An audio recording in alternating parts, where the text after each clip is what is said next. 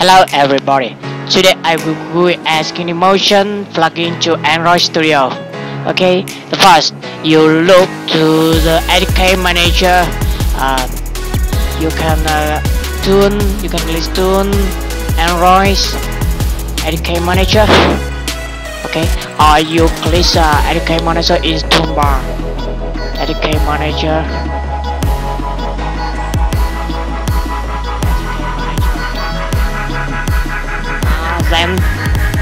You uh, select the plugin plugin okay you uh, then you type Genymotion on the five bar.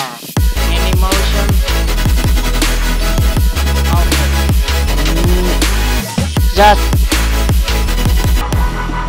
no plugin font okay you can place search in repository you click install. And play one minute. You after after that you click restart Android Studio. Restart and play one minute.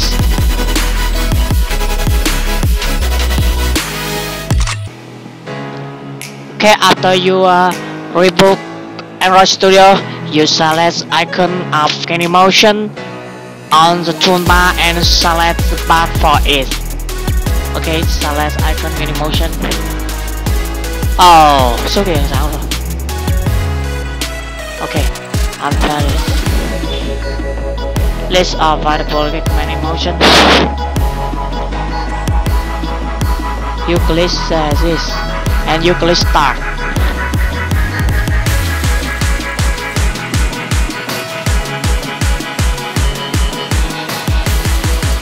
Uh, the video have you shorten the time and do not need the grossly loud motion program. Very fast.